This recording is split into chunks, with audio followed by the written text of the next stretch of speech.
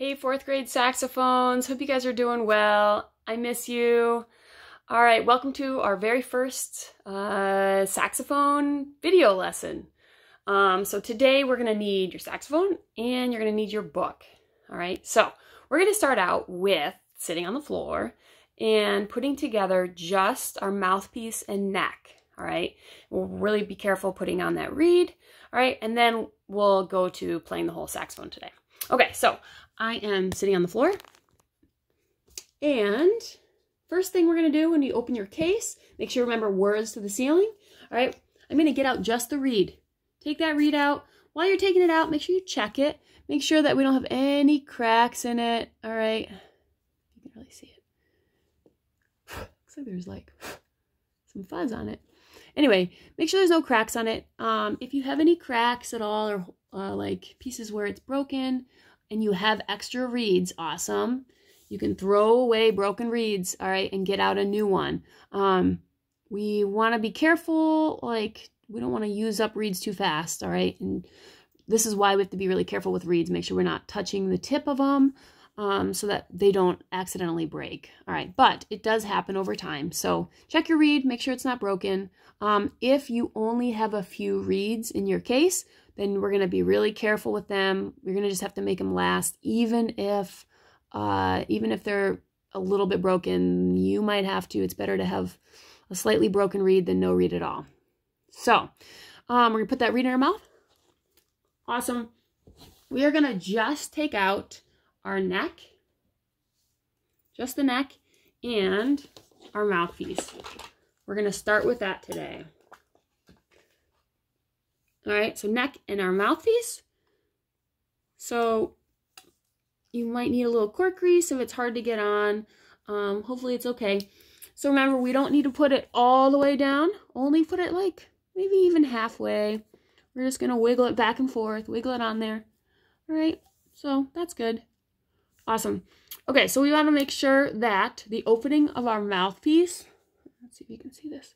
The opening of our mouthpiece is going to be towards the ground, the same place where this neck opening is for the body of the saxophone. That's also to the ground, right? Make sure that we don't have our mouthpiece on upside down. Okay. All right. Then we're going to get our ligature so we can put this reed on. All right. So, after you hopefully got your reed nice and wet, we're very carefully going to take our reed all right. Remember the part of the reed that's flat that has words. So mine says Rico. Most of yours also says Rico. We're going to put that part against the flat part of the mouthpiece that has the opening. All right. So we're going to set that down. Remember, we want to make sure we can see just a hair of black over the top of our, eh, see if this will focus in on this. Eh, mine's not lined up we want a hair of black over the top of our mouthpiece. All right, so there we go. So you can kind of see that. All right, so make sure you have that lined up. We don't want too much black, and we also don't want our reed sticking out from the mouthpiece. So hair of black, then we're going to carefully take our ligature. We're going to slide it down, make sure we don't hit the reed at all. All right, and adjust the reed with the size of your, the by touching the sides of it, not by pushing down on the tip, right? That's one way they can easily break. So we're going to adjust it, pull that ligature down so that you can make sure you see the curve of the back of the mouthpiece, right? Make sure you see that curve. Awesome. All right, and then we're going to tighten our uh, the ligature screws. All right, to tighten it, you turn them away from you, like the opposite way where from where you are. All right, if they're not tightening, then you're probably turning them the wrong way. All right, just until they're tight. Cool. Make sure that the screws of the ligature are on the same side as the reed. All right, so then we should have our neck looking like this. Got the open side that where the body of the saxophone is going to go. All right, with the screws, they're facing the, the ground and our, our reed facing the ground. Awesome. Okay, so I just came back over to my chair. So you're going to take your neck and mouthpiece and you're going to go to a mirror. all right? And this is what you're gonna practice. We're gonna make sure that our reed goes right onto our bottom lip. Set it on your bottom lip, all right? It's gonna roll over your bottom teeth into your mouth. Your top teeth go on top of it, all right? And then we're gonna like have nice firm corners. We're gonna make sure we're not puffing our cheeks at all. Keep our chin nice and flat. Good. It's gonna stick out this way. It's not like a clarinet has a little bit different of an angle, right? So you don't want your mouthpiece like down. You want to make sure it's out, okay? So close those, those lips around it. And we're going to blow air straight through it. Sounds like a nice goose call, right? All right. Make sure we get a good sound out of it. If for some reason you're not getting a sound, check that reed. There's probably something wrong with the reed if the sound is not coming out right. All right. Make sure that you're not getting your tongue in the way at all. All right. We'll talk about tonguing probably at your next lesson. All right. Just double check that in the mirror. Pause this video. Make sure you're not puffing your cheeks. Awesome. All right. Now we're going to put the whole saxophone together. All right, guys, I'm back on the floor by my case. All right, so I'm to carefully set down the neck in my case, or you can set it on your lap or something, just somewhere that's safe so you can put the rest of the saxophone together. All right, so the first thing we need to do is take out our neck strap. So go ahead and take that neck strap off, out, put it on. Awesome. Great, now we're to just carefully, remember, take our body of our saxophone out, lifting it by the bell, all right, and in the spots that don't have any keys. Good. I'm going to set it down. Remember, have to remove this cap, this end cap. This protects it when it's in the case, so make sure each time you always put it back in. Don't just leave that in your case somewhere. This needs to go on your saxophone when you put it away each time. All right, so we're going to carefully put the body of our saxophone onto the neck strap. All right, awesome. Set it carefully in your lap. Then we're going to take out our neck that we already have ready to go. All right. And remember, the bell of the saxophone comes out this way. So our neck goes the opposite direction, right? See that. Cool. So the bell comes this way, neck goes the opposite way. So make sure we get that lined up. Cool. Then our neck screw, we're going to tighten. Awesome. So that reed is towards the floor. Cool. Now we're going to go back over to our chair. Okay, guys, so make sure that you're sitting in a chair, all right, nice and tall, feet flat on the ground. All right, the next thing is we have to adjust our neck strap, all right, because right now mine would hit like my neck. So we want to make it so that our mouthpiece is coming over and hitting right to our bottom lip. So I'm definitely going to have to adjust mine. So the best way to adjust it is set your saxophone right on your lap, all right, set on your lap, and then you're going to use your hands, both hands, and we have to learn how to use this neck strap, okay? So what I like to do is one hand I pull down, the other hand I pull up. So you might want to have your parents help you at first to figure out how to adjust it, all right? And when we're back together again, I'll make sure everybody's at, is at the right spot. You're just going to have to do your very best at home to make sure that it's adjusted and high enough. So we want it to go right to our bottom lip. All right, so it's gonna rest right on your neck, on that neck strap. So mine's going right to my bottom lip right now. All right, so that feels pretty good. All right, I wanna make sure we don't like add extra stress to our neck at all because we're like really trying to reach. We wanna make sure that mouthpiece goes right to our mouth. We don't bring our mouth to wherever the mouthpiece is, okay? Awesome. So when we are playing, we are gonna sit kind of on the side of the chair, like when we're at school. Right, we sit on the side of the chair. So it depends on what kind of chair you're in. You might have to hold it and sit kind of on the side so that it can it can come off and not hit anything, right? Awesome.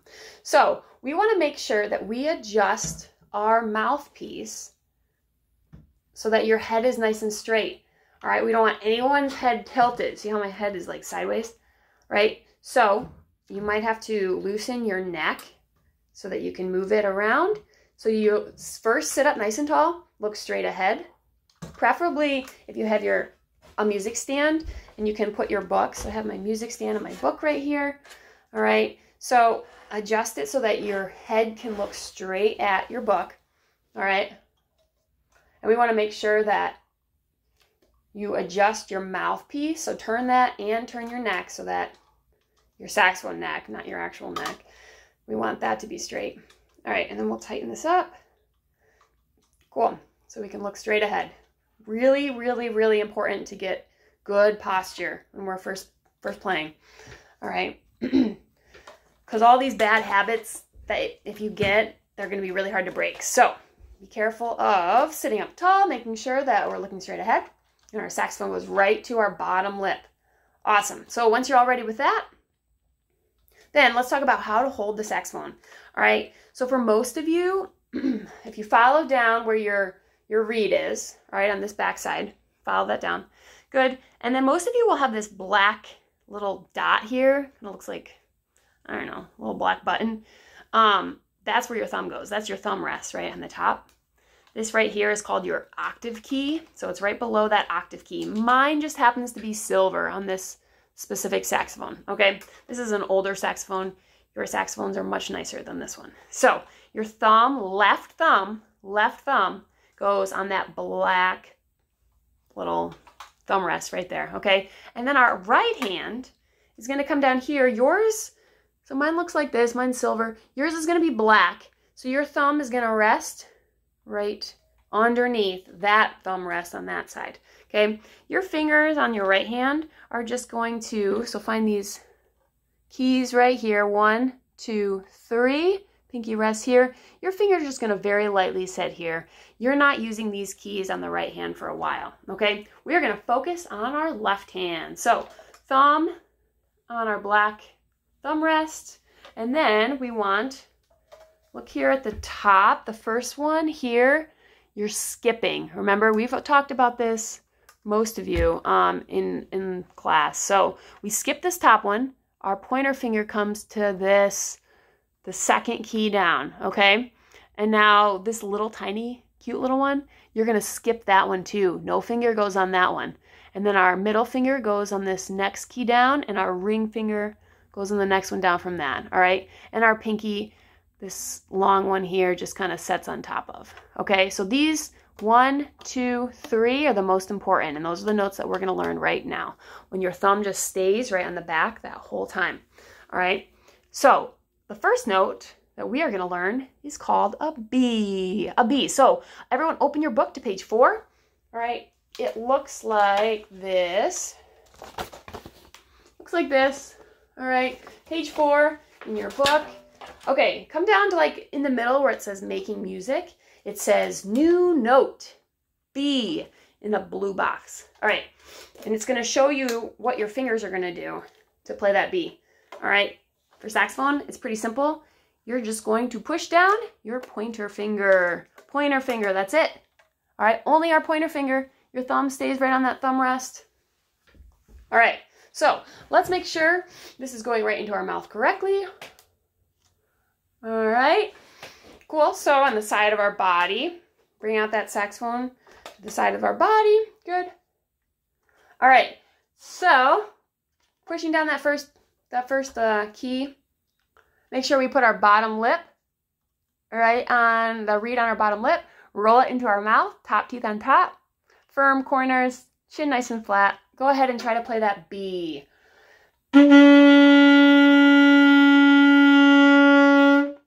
Good. So I like to hold out these notes nice and long. If we were at school together, we would have a contest to see who would hold it the longest. So I want you to practice that when you're home. So we're going to just hold out the B first. Just the B. Pointer finger down. Here we go. Take a deep breath. Ready?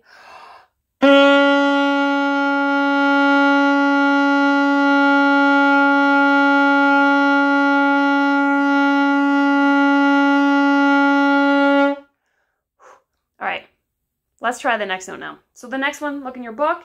New note is A. We're just going to add our next finger. It's You're going to have the fingers on either side of that little tiny cute little key, okay? No fingers around that little one, all right? So we just have our pointer finger and our middle finger down, and that's it. Make sure you're not accidentally hitting anything else. Keep your head nice and straight. Adjust your mouthpiece as you need to. Make sure your neck strap is high enough so it's still going to your bottom lip. Cool, let's play the A together.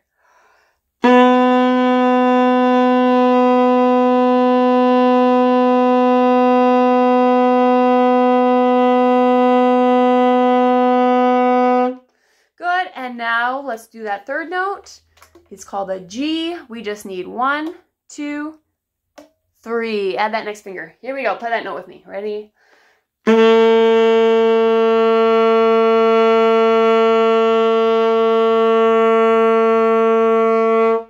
Awesome. Okay, so let's look on page four of our book.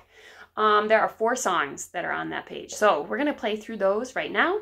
Make sure that you pause the video after I play them um, with you, and then go ahead and practice those songs. This is a great time to really work on those. Don't just play through them once and move on. That's not how you get better at anything, right?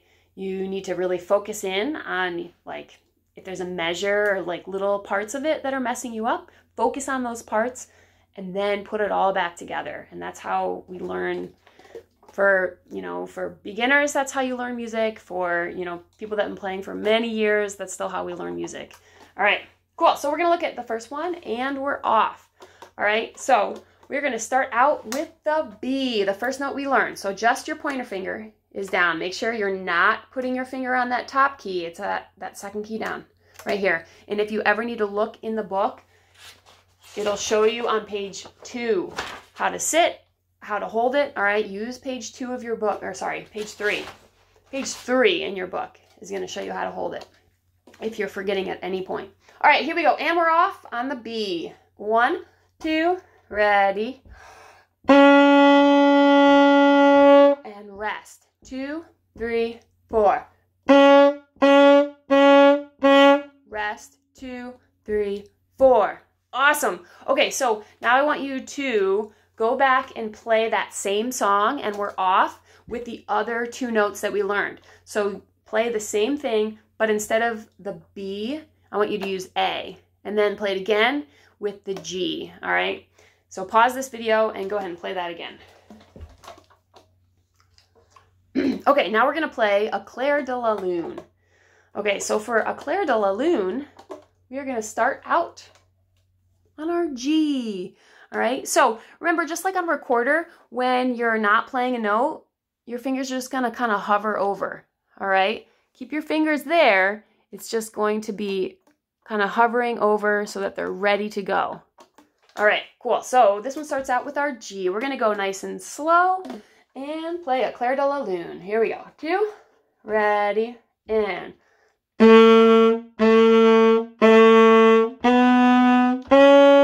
Rest.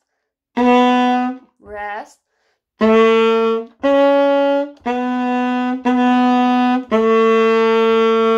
Rest. Rest.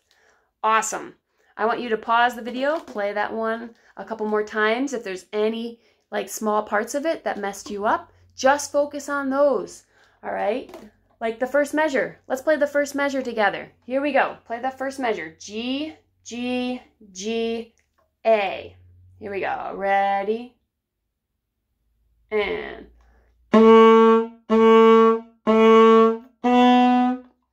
All right? And then you could go back and do it again and then put the next measure with it. All right, so that's how we're gonna we're gonna get better when we practice it like that. Okay, let's go to the next one down, hot cross buns. Here we go. So this one's gonna start right on our B. Here we go. Two, ready, and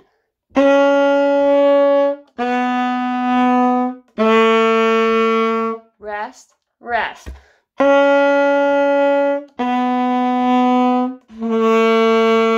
Rest. Rest,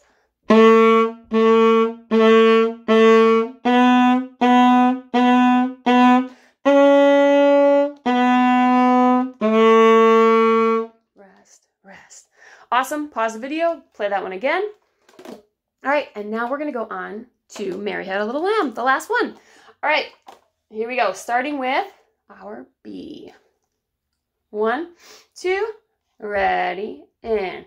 Rest.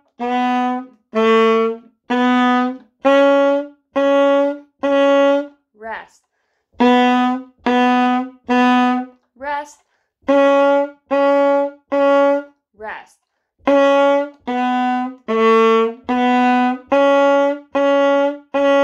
Rest,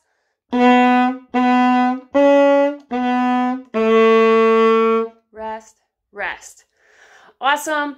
Make sure you practice those songs, play them um, throughout the week. All right, you can play along with this video or you can just play through them all by yourself. All right, making sure that we're developing really good habits.